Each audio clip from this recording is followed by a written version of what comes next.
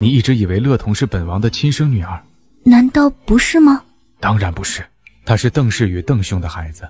邓兄救亡而死之时，她尚在襁褓中，而本王答应邓兄要娶邓氏过门，所以自他懂事起，一直唤本王阿爹。在北疆的时候，却以侧室的身份纳了邓氏进门，但本王一直以寡嫂的身份礼待她，连她手指头都没碰过。陛下，你替恩人照顾妻儿是应该，但邓将军为何要你娶邓氏为妻啊？你这么聪明，难道都想不到吗？邓将军是怕将来邓氏的囚犯身份被揭露，想利用景王侧妃的身份保住他。是，这也是乐童一直唤我阿爹的原因。邓家当年的案子很大，全门覆灭。唯邓青瑜被家仆救出，逃过了那一劫。兄弟二人不负恩公所托，带着邓青瑜逃到了北疆。邓兄仗着一身好武艺投了军，后面就顺理成章的与邓青瑜结成了夫妻。而邓兄至死都不忘邓相公所托，要护邓青瑜周全，所以才让本王娶她过门，护在本王门下。若有朝一日他们母子的身份被揭发出来，至少父皇会误以为乐童是我的孩子，从而饶过他们母子。本王也没有辜负邓兄的生死相托，守护了他们母女的周全。陆成锦惜字如金，今日一口气说了这么多，却是方才看着他红了眼睛，实在心疼了。今天本王讲明了这其中的缘由，某人也不会再吃醋了吧？我才不吃醋，殿下休要冤枉。话虽如此，但苏然几次对陆成锦的伤心，皆是因为邓氏母子吃醋而不自知罢了。陆成锦拽起他，扯向自己怀里，被他扣紧在怀里，清晰感觉到了男人的变化，炙热滚烫。苏然魂都快惊飞了，羞得满脸通红，慌乱地看向里间，朝他连连摇头。陆成锦也知道此事不妥，怎么办？可本王房里，他却不知道是哪个地方又惹到他了。怎么好好的说着话，他又兽性大发了？殿下，现在不行。你忍忍，那晚上你来我屋里，本王等。男人在脖子间胡啃着，手竟勾开了带子。我我去。得到满意的答复，男人这才松开手，放过了他。临出门前，对他叮嘱：“殿下，还请你不要让邓娘子他们知道咱们的关系，一定要保密。”陆成锦知道他谨慎小心惯了，他担心就应下。出了院门。转了好大一圈，再拐回自己的院子，未进门就见邓青瑜站在他书房门口等他。中午这么大的暑气，殿下去哪里了？邓青云连忙迎上来，关切地问道：“有事出去了一趟。”却从陆成锦的身上嗅到了一丝淡淡的幽香，但他知道那绝不是他身上的味道。女人直觉，他方才定是见某个女人去了。邓青瑜胸口揪紧，差点喘不过气来。陆成锦径直往前，淡淡的说：“他进到卧房，正要换下人抬水进浴房沐浴更衣，邓青瑜却跟了进来。本王早就同你说过了，这些琐事府里有舒嬷嬷帮我打理，宫里有司仪局，无需你操心，你安心照顾好乐童就是了。殿下，妾身既然已经做好了，你就试一试吧。不必。这一次，陆成锦拒绝的更直接。邓青瑜被他两个字呛得脸色一白，他一针一线辛苦制好的衣裳，他看都没看一眼就拒绝了。他原本是不太敢给陆成锦做衣服的，因为陆成锦在那他进门前就同他说过，给他名分只是一个形式，为的是护他和女儿周全，心里一直当他是大嫂敬重。可如今他已经知道，他明明不是这样无情之人啊！晚上。我亲自下厨做几样小菜，也算是团聚一下。乐童梦里都在喊着阿爹，想来是太久没有见到殿下，想得紧。还请殿下晚上陪他一起吃顿饭，免得他又跟妾身闹。本王今日公务冗重，要办公到很晚，明日再陪你们吃饭。长亭，差人扶夫人回房。说罢。陆成锦头也不回往屋内走去，邓青鱼一步三回头，频频往屋内看去。他见到陆成锦从手腕上褪下一根黑色手绳，郑重地收进小鸡上的檀木盒子里。且看他沐浴前都要收好此物，看样子十分珍贵。回到屋内，殿下是何意？难道真的打算一辈子就将夫人当做是个吃闲饭的摆设，让你守着名分，守活寡吗？大抵他终是嫌弃我这身子。他身份高贵，什么样的女人会没有？哪里有瞧得上？唉，这女人啊，就靠男人养，越养才会越水灵。红妈，别说这些，乐童在呢，你派个机灵点的丫头守在殿下的屋子，看看可有什么人进出的频繁。不知不觉，夜已深。当陆成锦再准备着人去催时，房门轻轻从外面被推开。过来，殿下连寝衣都换了。你不是爱看本王穿这个颜色的衣裳吗？苏然有些哭笑不得。我什么时候说喜欢看你穿这个颜色的衣服了？但不可否认，他穿成这个样子，还真有几分如玉公子的模样。陆成锦起身朝苏然走去，沿途拂袍扫过，熄灭了一室的灯火。殿下，等一下，小声些好不好？为什么？陆成锦明显不想答应。若是小声了，就代表不能尽兴了。从中午忍到现在，他以为他还能忍得住。殿下忘记了，你的院子里还住着邓娘子，万一被听见。邓氏所居的西厢房离得也不远，万一听到了，岂不让他起疑？毕竟他也是生过孩子的，哪里会不懂这些事？陆成锦一听，不觉皱起了眉头。明天本王让他搬到隔壁的东跨院里去住。那今晚。求殿下忍耐些，可好？陆成锦怕他退缩，就嗯了一声，算是答应了。他将他放到床上。其实本王十分回味第一次你在厢房里对本王使的那些手段，要不要再试一次？不要，无耻！可不是无耻吗？被他欺负成这样还不满足吗？小女子娇憨的斥骂声，犹如一记催化符。男人热情似火，苏冉被他带动的也情难自抑，好几次差点吟出声来，却又被他咬唇忍下了。床架咯吱作响，玄青色的帐帘如起伏的潮水，退了又涨，涨了又退，来来回回无休无止。不知过去多久，当苏冉再也经受不住，差点哭出声时，陆成锦终于放过了他。他瘫在床上。昏沉沉睡过去。东方天际露白，西厢房那里，邓青鱼握帕子的手揪着心口，跌跌撞撞地回到屋子里，脸色惨白如灰。自三更天小丫鬟回来禀告有女人进了殿下的卧房开始，他就冒夜偷偷去了他的屋子外面。那些声响，真是生生揪碎了他的心。而后。婆子们提进去的水，那换出来的带着暧昧气息的被褥，无一不在告诉他屋内方才发生了什么。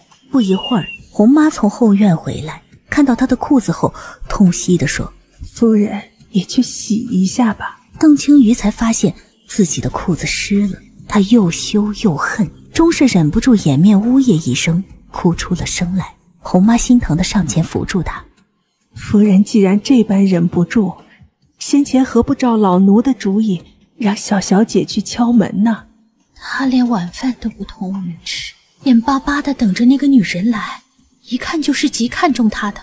我们若贸然打断他的好事，万一万一他恼羞成怒，舍弃了我和女儿怎么办？现在他还不敢冒这个险。如今首要，他要先弄清楚房里的那个女人是谁。你打听到了吗？夫人不必担心。凡事总有个漏脚的地方，咱们现如今啊住在这里，总会知道那个狐狸精是谁。红妈铺好床，劝她赶紧睡一会儿。邓青云哪里睡得着，复又从床上起身往陆成锦的卧房去。到了前边，堪堪站定，就听到屋子里隐隐传来一声娇呼，紧接着床架发出的咯吱声又一下接一下的传了出来。昨晚闹了那许久，今早又来。红妈比他更老道，也忍不住臊红了脸。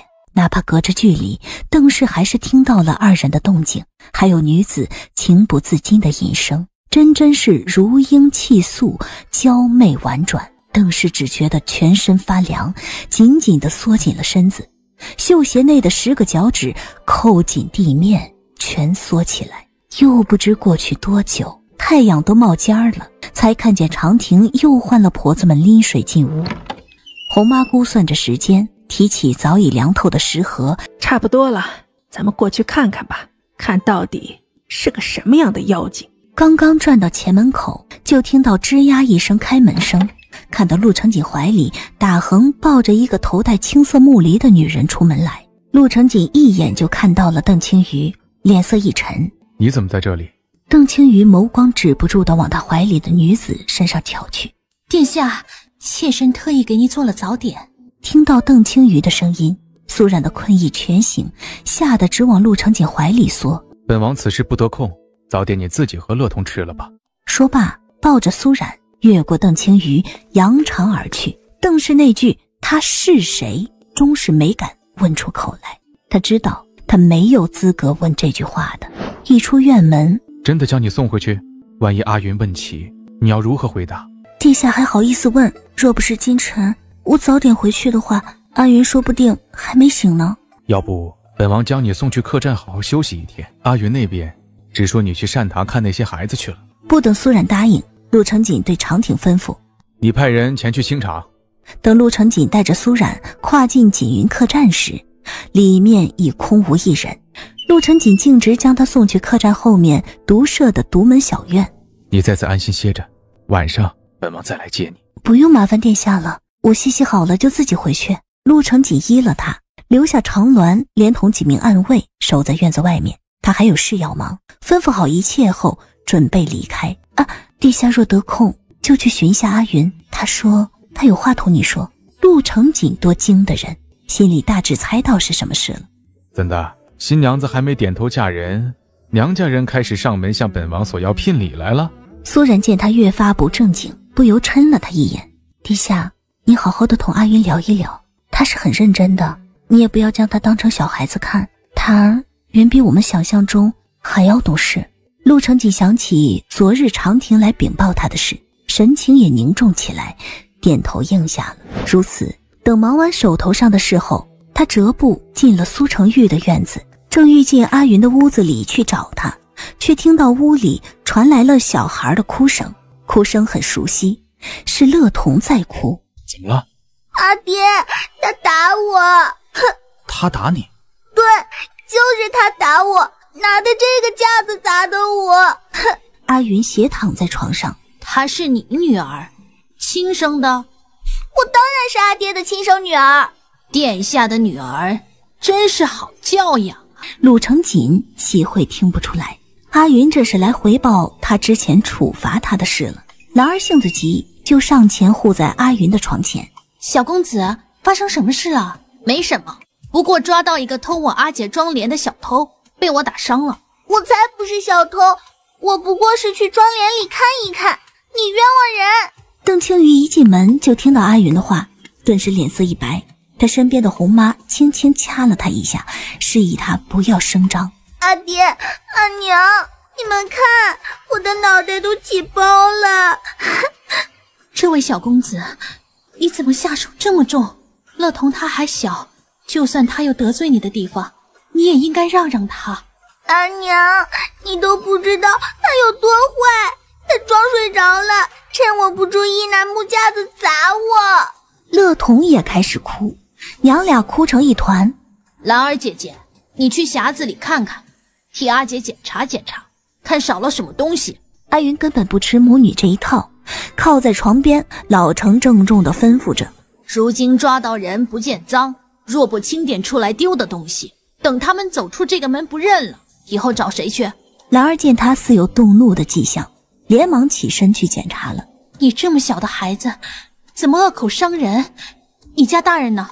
这等小事不需要我阿姐出面，且我没有一句谎话。你女儿不经人同意擅自入室，入室后又擅自翻我阿姐的妆帘，不是小偷是什么？陆成锦低下头看向乐童，严肃地问他。你为什么擅自跑到人家屋子翻东西？邓青雨脸色一白，连忙说：“乐童他是无聊了，闲逛到了此处，估计是看到妆奁那样亮晶晶的好看，就去看了看，绝对不是偷盗。”可陆成锦却看向阿云，饶有兴趣地说：“此事你想如何处置？”堂堂锦王问一个八岁孩子要如何处置，阿云一点也不慌。若兰儿姐姐清点出少了什么东西。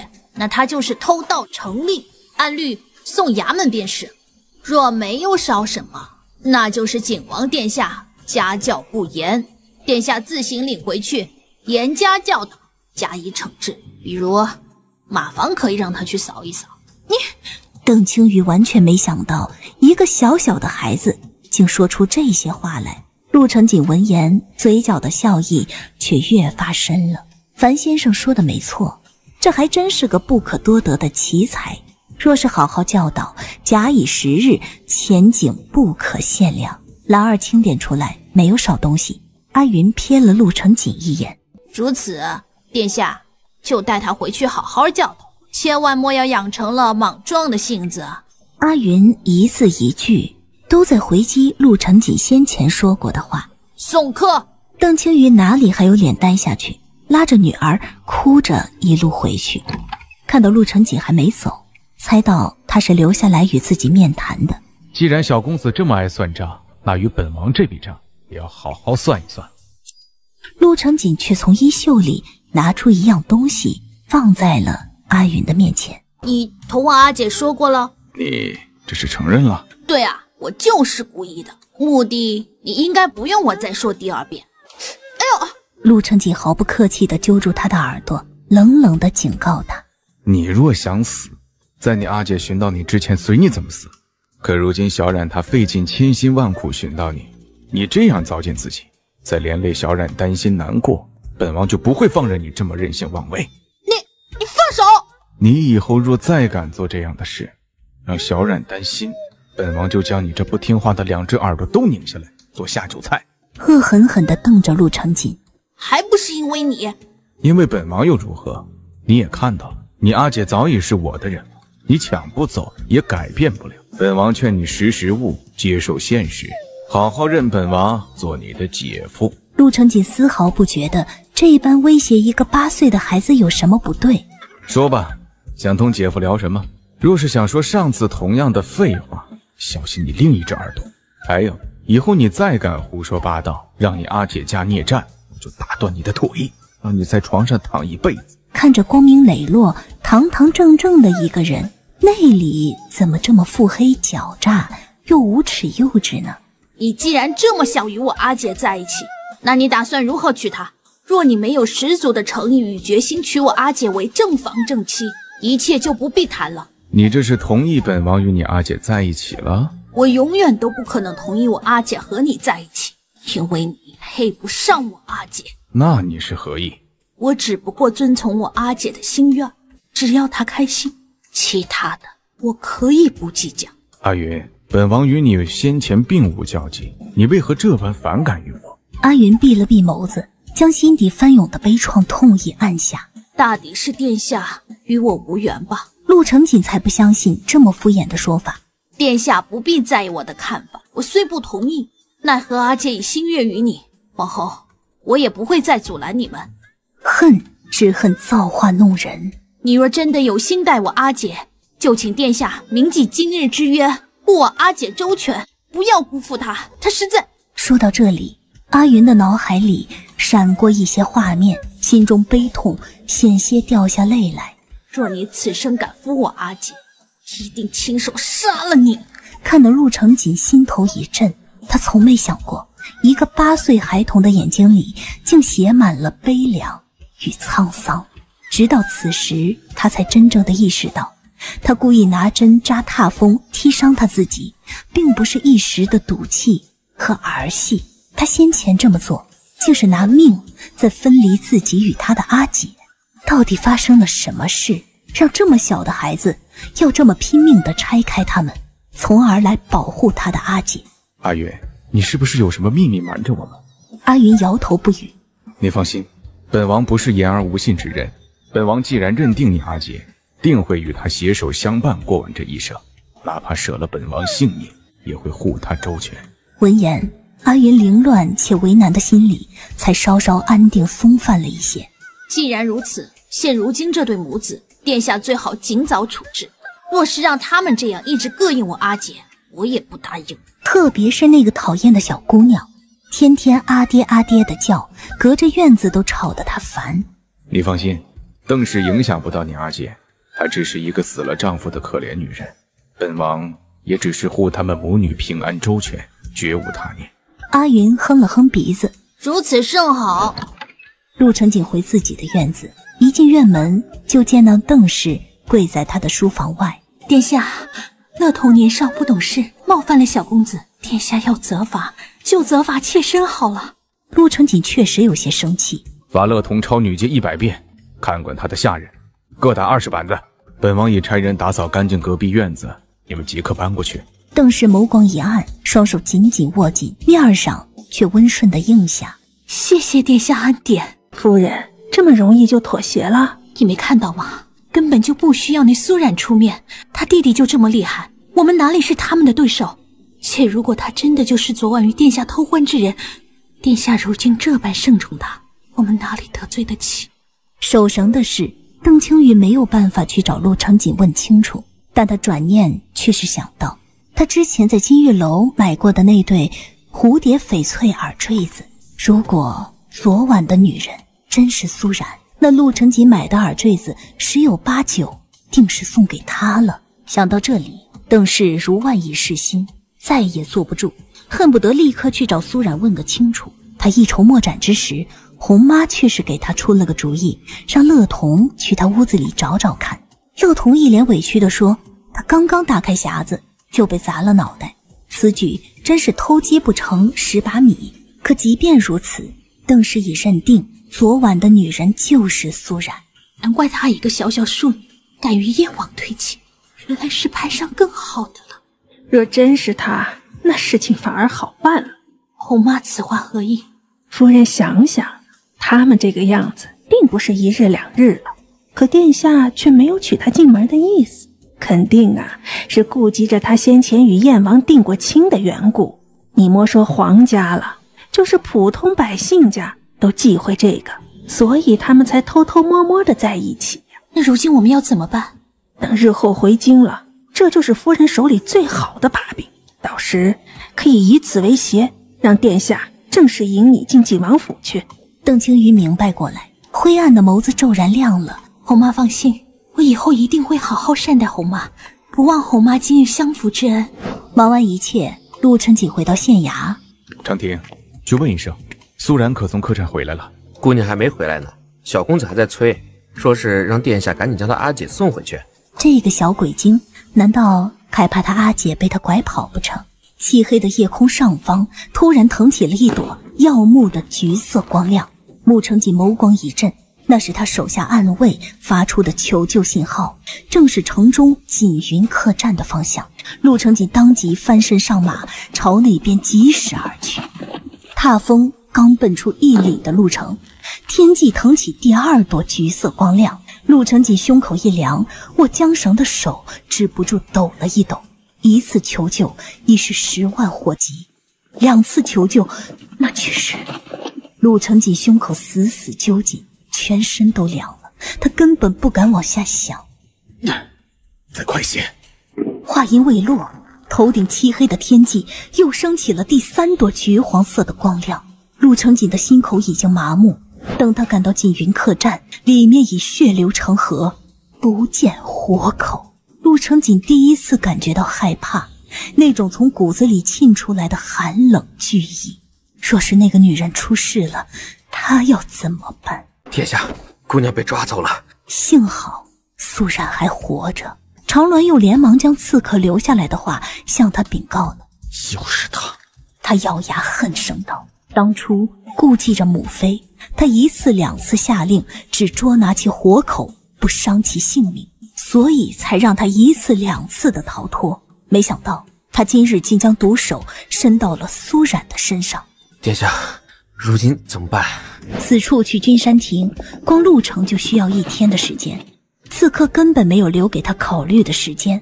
立刻派人守住前后城门，找到他们逃跑的路径，一切以保护姑娘安全为前提。另派人守好银库，防备被人趁乱而入。长亭连忙应下。陆成吉马不停蹄地折回县衙，去找邓青鱼要铁矿图。殿下，这么晚了，你怎么过来了？本王想要你的铁矿图。邓青鱼见他神情紧张，瞬间明白过来，是抓走苏冉的刺客要那铁矿图。殿下，有件事妾身一直忘记跟你说了，那铁矿图被偷了。正是上回司斩进小偷那次被盗的。陆成锦眸光迟疑的盯着他，邓青雨感觉到他在怀疑自己，心里一酸，当即跪下：“殿下，妾身若有半句谎言，天打五雷轰！那盒玉石子是真的被盗走了的。”陆成锦眸光陡然一沉，会是谁知道那铁矿图的存在，还知道他在邓氏的手里最后盗了去？而他竟然毫无察觉。陆成锦用力甩甩头，一言不发，折身朝外走去。邓青雨连忙追上前去，一把抓住他的袖袍，情不自禁地说：“殿下，只要你想要的东西，妾身哪怕掏出心来都是愿意的，哪会瞒着不给？求殿下相信妾身。”陆成锦听到邓青雨的话，他回身甩了袍袖，摆脱他。一嫂言重了，本王对你。从来只有托付之意，再无其他心思。也请嫂子收起不该有的念头，好好抚养乐童长大。一声一扫，如一记耳光，重重的打在邓青鱼的脸上，让他撕心裂肺，又羞愧到无地自容。又是抚养乐童长大，他每次对他的嘱托都只是这一件事。难道在他的眼里，自己就只配做这些事吗？自己也是一个女人呢。他红着眼睛，凄凉一笑：“丢的真好，如此，他也休想再活命回来。”陆成锦想好了万全之策，却没有想到最紧要的关头，最重要的东西却没有了。如何？可是那锦狗养在外面的小老婆？正是。不是说他们还生了一个闺女吗？怎么今日在客栈里搜遍了，也没有见到他们的女儿？大抵是女儿刚好没在客栈。苏冉的手脚被绑住，还被点了哑穴。他默默听着，心里恍悟过来：这些人原本要抓的是邓青雨与乐童。坠影走过来，拿黑布蒙上他的眼睛，老实待着，不然小心你的小命。苏冉乖乖点头。怎么，你也看上他了？那个为首的头领回过头来，正好看到坠影蹲在苏冉的面前，盯着他看。你不是要找陆成锦报仇吗？正好，今晚先将他的小老婆睡了，后日再杀了他，丢进洞庭湖里喂鱼。闻言，苏然脸色一白，身子却止不住往后面躲去。师兄，铁矿毒是京城那位要的，还是谁要的都一样，反正最后都要归于主公之手。你觉得后日那陆成锦会去君山亭吗？哼。他会去的，但舍不舍得拿铁矿图出来换美人，就不一定了。听三人话里的意思，此次事件十有八九又是陆承彦的手笔。如此，苏冉倒真不希望陆承锦因为他交出铁矿图来了。少县后衙，殿下，我我二妹妹如何了？真被刺客抓走了吗？殿下可有办法救我阿姐？你不要太担心，他们是冲着本王来的。本王没出现之前，你阿姐是安全的。殿下说说看，这些鸡麝香会涂在刺客们要的铁矿图上，到时自然就能跟踪到他们，救出你阿姐了。殿下一定要筹划周全，不要再出岔子，一定要将阿姐顺利救回来。你好好吃饭，养好身子，等你阿姐回来，若是你瘦了，又会伤心了。阿云迟疑片刻，终是乖乖点了点头。陆成锦起身对苏成玉说：“后日的赈灾银款发放。”你替本王去盯着，莫要出乱子。苏成玉连忙应下。陆成锦离开西跨院，长亭也着急。殿下，如今怎么办？要不咱们临时给他们做一副，反正那铁矿图他们也没见过。你终于聪明了一回。他们虽然没见过铁矿图，但想必也听他们的主子说过那玉石子大概的模样，所以也不好糊弄。若换成平时，他根本不会理会这些，直接与他们对面杀过去就成。但苏冉在他们手里，他半步都不敢踏错。你老实在这里待着，若敢逃走，你小命就玩完了。苏冉瞪大了眼睛看着他，我现在就去君山杀陆成锦，说不定明日此时你就可以看到他的人头了。坠影转身走了。这一晚，整个山寨的男人也因为他的到来都睡不着了。苏冉在屋子里胆战心惊的听着，哪里还睡得着？幸而有坠影的手下守着，不然后果不堪设想。天亮后，屋外的动静终是停了下来。他迷蒙的睁眼看着外面的日头。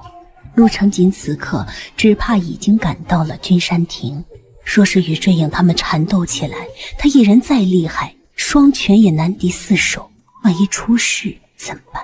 他恨不得立刻逃出这里，去寻陆成锦。你省省心吧，我家二当家说了，你留在这里，或许还能保住一条小命。你若是想着逃出去，不出这个寨子，就被外面那些男人拆成骨头吃了。不等苏冉从悲痛中回神，门外传来了他们的谈话声。那个黑衣人头领眸光发红，作势要踹门闯进来，却被坠影拦下了。师兄，且慢！怎么，你还真的看上他了？你让开！我要杀了这个臭婆娘，给老三报仇！苏冉心口砰砰直跳，身子发软。坠影身上满是血渍。我知道大哥要替老三报仇，可就这样一刀杀了他，太便宜他了。那你说怎么办？兄弟们不是都馋他的身子吗？不如先睡了再杀。你舍得？哼，当然舍得。不过求师兄行个方便，今晚哼，让我先来。你不要忘了，那锦王狡猾多端，他身边的女人也不简单。你万不可一时心软，再着了他的道。三弟今日折在他手里，而那灾银一事也被他们识破，铁矿图也是假的。此去不止无法向上京城里那位交差，更无法给主公一个交代。你若再因为这个女人误事，到时你的脑袋也不要留了。师兄说哪里的话？我尝过滋味后，就把他让给其他兄弟，等大家都玩腻了，再杀了他给三弟报仇。黑衣头领这才点了点头，领着众人愤然走。屋内，苏然听得心惊肉跳，全身的血液都凝固了，但胸口的那块大石却松下。他知道陆成锦没出事，如此便好。房门从外面推开，一道黑色身影走进来。苏然咬牙，拔下头上的簪子抵在脖子上：“你若敢碰我，我立刻死在这里！”追影满身血腥气。灰褐色的眼睛里如撒上了一层血雾。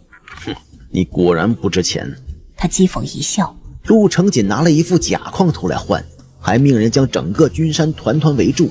他根本没有将你的生死放在眼里，你还在这里为了他做殉情的傻事，简直可笑。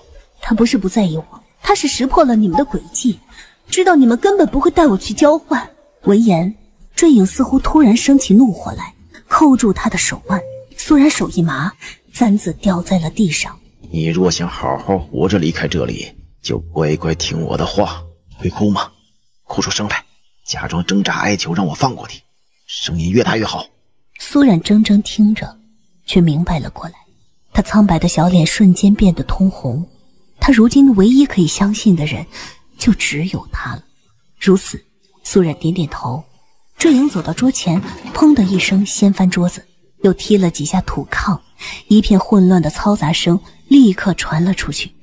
苏冉见状，捂着脸，也紧随着开了口：“求你放过我，求你放过我！”他的哭声呜咽婉转，泣泪无助，偏又妩媚动人，落进外面那些人的耳朵里，简直要人命。顿时。那些人眼前的画面，皆是娇媚的小娘子被二当家的蹂躏辱没的火热场面。坠影听到他的哭声，身形一滞，禁不住回身朝苏冉看过来。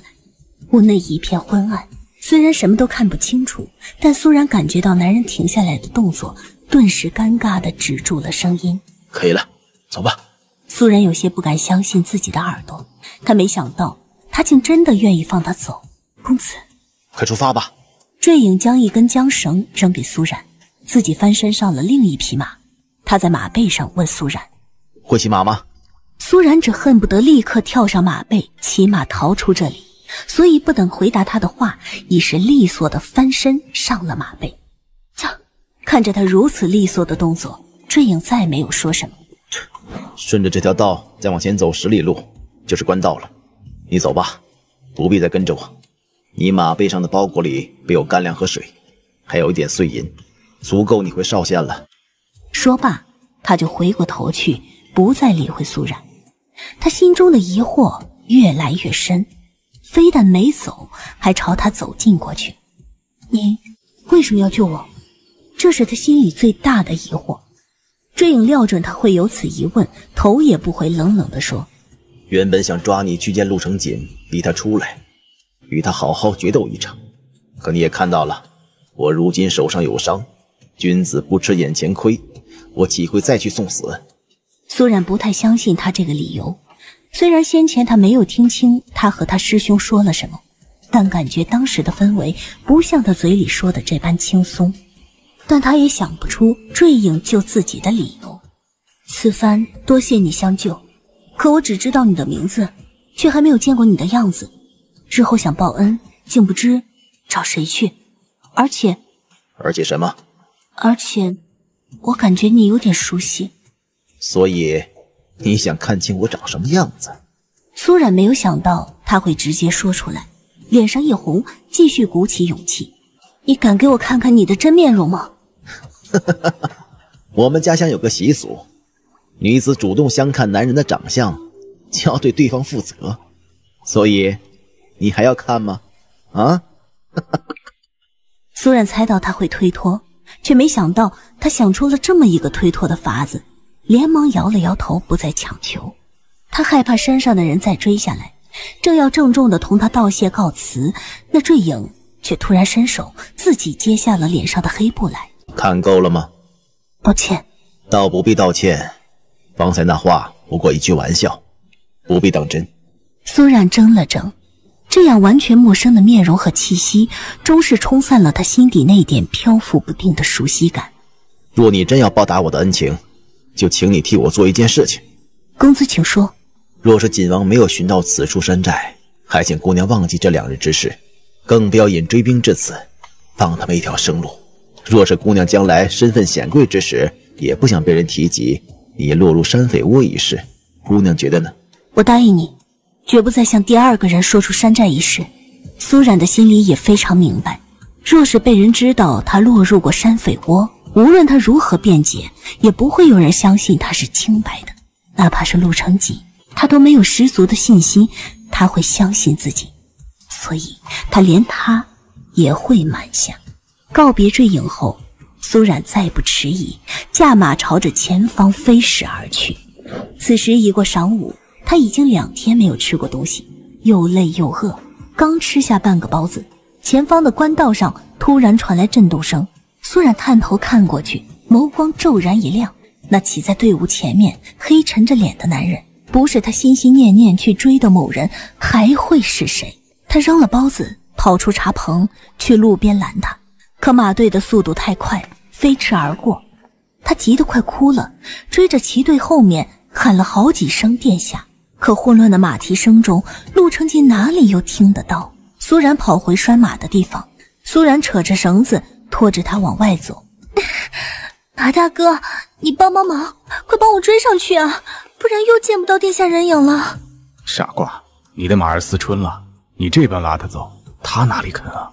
男人凉薄又戏谑的声音在他的身后淡淡响起，苏冉全身一震，回头看去，身后负手逆光站着的人不是陆成锦，还会是谁？苏冉滞了滞，奔过去，扑进了他的怀里。殿下，一语未了，眼泪已如滚珠子般往下淌。在锦云客栈被劫后，他一度以为自己再也见不到陆成锦了。如今能再见到他，苏冉才知道活着的意义。天知道这几日他是怎么过来的。陆成锦狠狠地搂紧了苏冉，要将她融到自己的身体里去，再不分开。两人相拥，不知站了多久，陆成锦才恋恋不舍地放开他。可有哪里受伤吗？他们可有打你、虐待你？我很好，殿下可有受伤？本王很好，他们的阴谋没有得逞。阿云呢？他也很好，我们大家都很好，只有你受苦了。殿下方才从哪里来啊？陆成锦垂眸，深深看了他一眼，一把打横抱起他，朝着踏风走去。回去再说。陆成锦眼睛看着前路，嘴唇紧抿，神情冷厉。虽然没有在他的身上闻到血腥味儿，却不代表他没有去过那山寨，所以是他想瞒下的秘密被他发现了。后面浴房已经备好了热水，你洗过澡后先休息一会儿，药熬好了我再来换。说罢，陆成锦起身离开屋子。见他这一般的形容，苏冉的心里还有什么不明白的？他所料没错，天底下就没有男人对这个不介意的。哪怕他明明都没有做，可没有人会相信他从那种地方走出来还能保住清白。陆成锦不只是男人，还是身份尊贵且占有欲极强的男人。可苏冉不甘心，他这般辛苦挣扎的活下来。就是为了要再见到他，不想与他分离。他上前拉住陆成锦的胳膊，咬牙抑住心中的心酸。陛下，你可有话要问我？陆成锦回头，最后落在他脖子间那处淡淡的伤口上。他抬手抚上去，这伤口怎么来的？苏冉手指收紧，将他抓得更紧。是在山寨时，我害怕他们玷污我。拿簪子抵着脖子时，不小心留下的。可是这个，陆成锦从怀中掏出一样东西，正是那只花簪。苏冉一点都不惊讶，他拿出花簪。殿下是在山寨南边最高的那个院子侧面的土坯房子里找到的吧？当时他们就将我关在那里。陆成锦呼吸一滞，只感觉心口绞痛的快喘不过气来。是本王连累了。苏冉原以为说出来就没事了。可他却发觉陆成锦的神情越发不对了。殿下，我本王还有事要忙，晚点再来和你说话。你好好休息，不要不要胡思乱想。陆成锦打断他的话，神情恢复正常。胡思乱想，事到如今，他还有什么不明白的？他这般避而不谈的态度，如同判定了所有的事情，根本不容他再开口，连个解释。都不愿意再听的。苏冉的脸上勉强挤出一丝笑来：“我没事，你不用担心我。”陆成锦走到门口，又回身看向他：“本王等下会差人去邵县给阿云他们报平安，还会顺道接邓氏和乐童过来。邓氏是临县人，他的祖辈都葬在这儿。本王答应要给邓兄立衣冠冢的。”苏冉瞪大了眼睛，撑住眼泪不掉出来：“我知道了。”多谢殿下。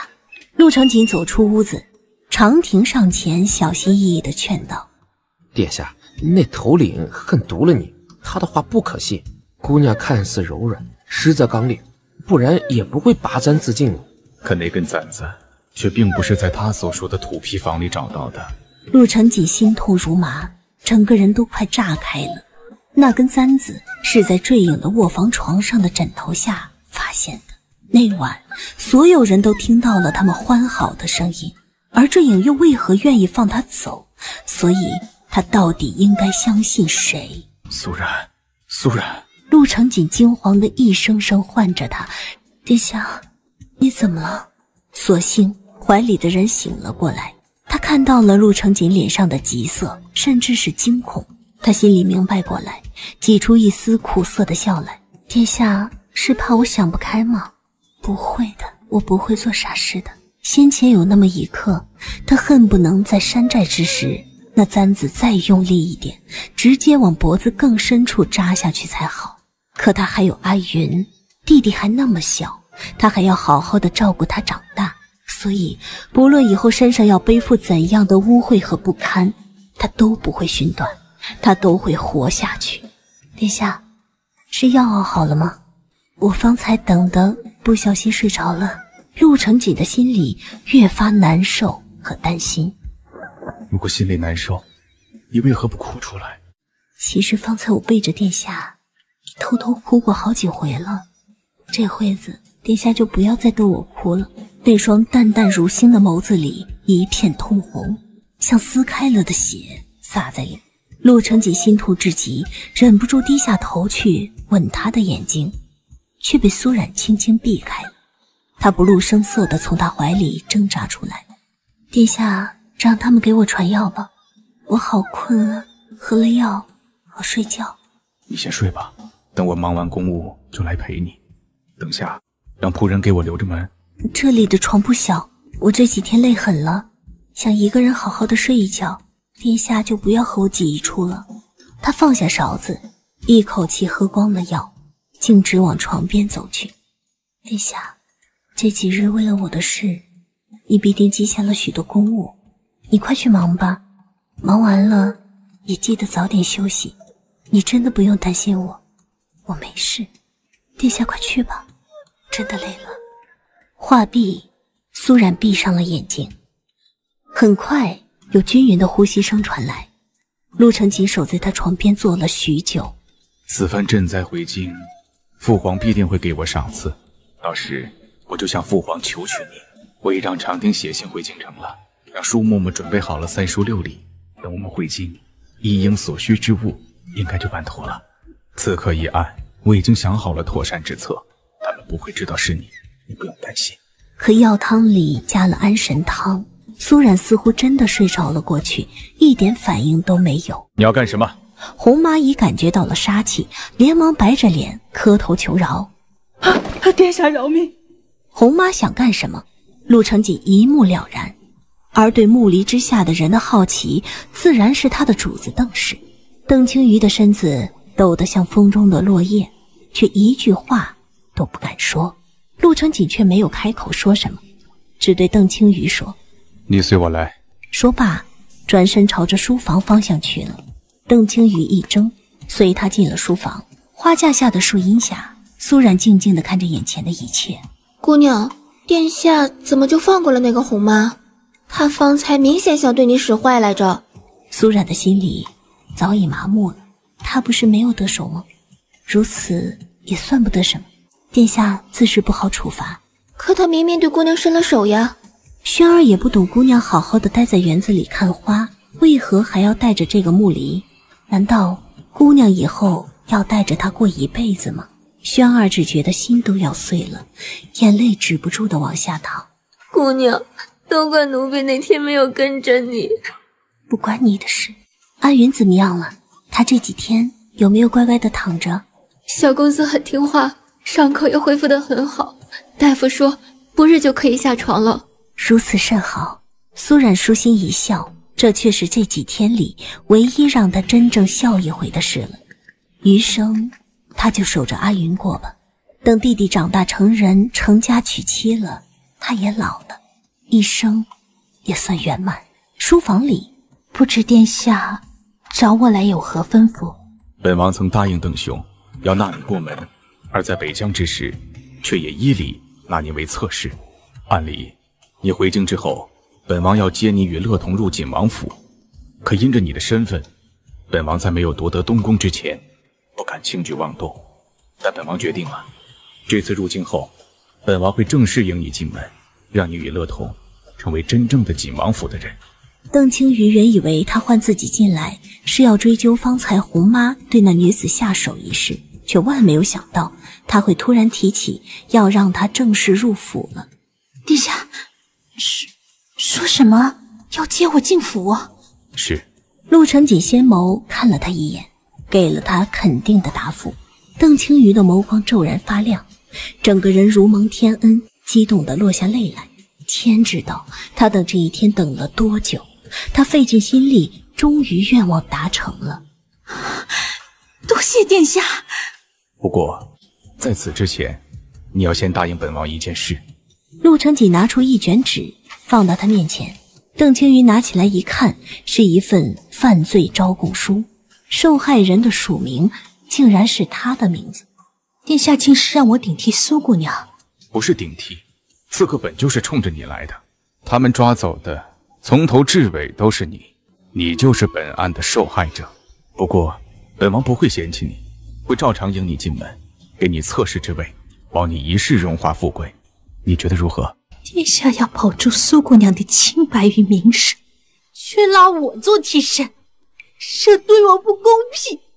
此事本就因你而起，他们一路追踪你从京城而来，而你一次两次不听叮嘱，擅自行动，你的目的，本王心知肚明，所以你并不无辜。殿下，我只是想回乡祭祖，我没有其他的目的。你出京之时。公然让手下婆子对守城卫兵宣称你们是锦王亲眷家属，不就是希望你的身份被发现，从而让本王纳你入府吗？他是平顺的日子过得太久了，竟一时得意，忘记了他的一举一动都在他的掌控之下。而那幅铁矿图是你祖父花费半辈子心血制成的，当年你们邓家遭难也是因为此图。本王寻到他后，将他物归原主，可你却丝毫不将祖辈心血放在眼里，丢弃了也不觉得可惜。如此，你又有几分真心是回来祭奠他们？邓青瑜面无人色。他不敢相信自己的真面目就这样被他扒开，可他如何甘心？原来，殿下是在为我没有拿出铁矿图救苏姑娘而生气。可殿下要将污名按在我身上也无用，那么多眼睛看过他，殿下想瞒也瞒不住的。凡是看过他的刺客，此生都不会再开口说话了。除去逃走的坠影和被他活擒的头领，其余一个没留。拔掉舌头，扔进了深山矿洞里做苦力，一辈子休想再离开矿山一步。你身边那个小丫鬟胆敢监视本王，你杖毙。二红妈是你身边的老妈子，本王暂且留她一命，以后就随你进于景王府。殿下的意思是要将我软禁于景王府？你名声尽损，除去待在景王府，这天下也再无你容身之地。如此这样的安排。与你是最好的，殿下，你这样做对得起景阳吗？我为你命都没了，你在他临终前亲口答应要好好照顾他的妻女，如今你为了苏冉这般对我，你忘恩负义。邓氏几欲崩溃，在得知苏冉被抓走后，他心里暗自欢喜。因为如此一来，不论他与陆成锦有何关系，此生他都不可能再与陆成锦在一起。可他万万没想到，陆成锦非但不嫌弃苏冉，还为了他不惜一切，手段狠辣的替他扫平了所有的污点。两相对比，他算个什么？本王答应义兄的话，从未忘记。可本王成了义兄的情谊，却不会放任你为非作歹。你敢说？上次苏家马车失事，跟你一点关系都没有吗？原来他早已不安分，且野心极大，大到可以对镇国公府的姑娘和未来的锦王妃下手。单凭这一剑，莫说软禁你，就是要你性命，都不为过。陆成锦最后冷冷的警告他：“你不要想着拼个鱼死网破，将苏冉的事说出去。这份招供书上……”清清楚楚写着你的名字，你的话没有人会信。再者，本王的锦王妃容不得半点污蔑。你若再不知轻重，休怪本王翻脸无情。此言一出，邓世如判了死刑，嘴唇惨白，一直哆嗦着，却说不出半句话。